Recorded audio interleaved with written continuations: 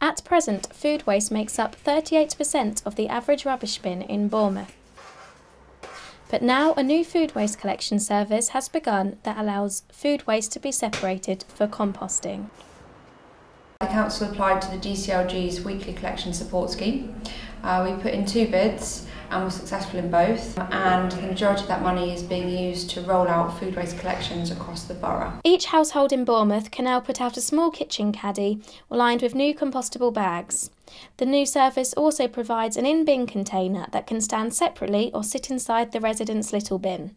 The 23 litre bin is for larger households. What will happen to it is a, pro, um, a process called anaerobic digestion, which is essentially like composting but on a much larger scale. I visited the Boscombe Market where residents of Bournemouth were chatting to waste awareness officers about the new food waste collections. There were also live demonstrations taking place about how householders can reuse their leftovers. It's going to mean that we can hopefully help reduce our food waste. I think it's a brilliant idea. I think it's far too much food wasted. Anything that we can do to save on wastage got to be a good thing. So the new food waste collections has potential to reduce food waste and can generate renewable energy.